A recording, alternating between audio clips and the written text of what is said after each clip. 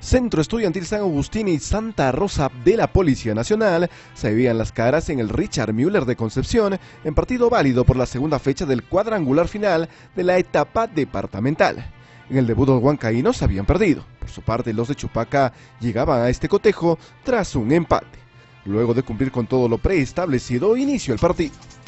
Desde el vamos iba a ser el César de Cajas el que intentaría mandar en el partido. Apenas a los cuatro minutos, José Luis Suaz Navar añadía a gol un centro. Sin embargo, el tanto sería anulado por posición ilícita. En la repetición se puede apreciar que hay un desvío, pero no queda del todo claro si fue de un jugador de casaquilla roja o blanca. Pese al envión con el que salía el equipo rojo, atrás también se verían requeridos. Sobre los 10 minutos el meta Brandon Solís caía mal tras un anticipo. Afortunadamente para él y su equipo podía recuperarse. Sabiendo que el empate no era un resultado del todo favorable, Centro Estudiantil San Agustín continuó con su búsqueda en ataque. Y así, ya sobre los 19, un saque desde el arco encontró con espacio y bien habilitado a Andrés Vila. Sobre el borde del área el atacante caería pidiendo falta penal de Diego Castillo. Para el juez central de la contienda no existe la falta y ordenaría la continuidad del cotejo. CS y Santa Rosa empezaron a repartirse llegadas sobre los arcos hasta que finalmente el gol caería. A los 26 y tras una buena triangulación, Gerson Espesa ubicaba el 1 a 0 a favor de los huancaínos. CS encontraba lo que tanto buscaba, la ventaja. Casi de inmediato los Santos intentaron la respuesta, pero la defensa iba a contrarrestar el ataque blanco. Sin conformarse con la mínima diferencia, los cajasinos se acercaban al arco de Marlon Ugarte. Hacia los 34, Elías Guayanay pescaría un balón sin dueño para de zurda hacer imposible la reacción de Ugarte. Los subcampeones huancaínos lo ganaban y ahora por 2 a 0. Sintiendo los dos duros golpes, Santa Rosa por fin parecía decidido en ataque.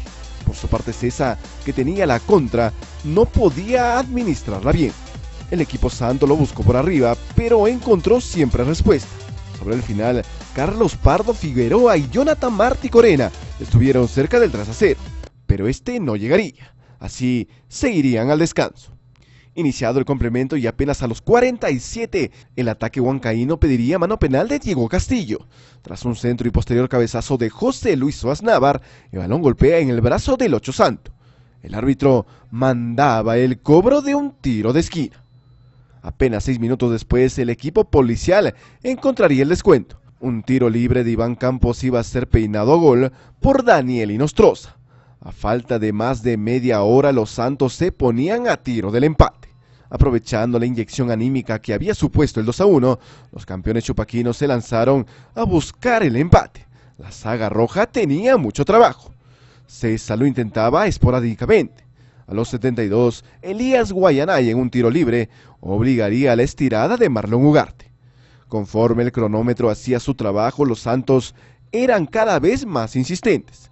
El empate parecía estar cerca. Centro Estudiantil San Agustín se defendía cada vez más cerca del arco de Solís. La recompensa para los chupaquinos llegaría. A los 88 un centro iba a ser despejado por el metahuancaíno. El balón queda corto y le quedaría a Franklin Salinas, que no duda y remata de larga distancia. El globo se colaría en las redes para ubicar el 2 a 2. Sin más, el partido concluiría en igualdad.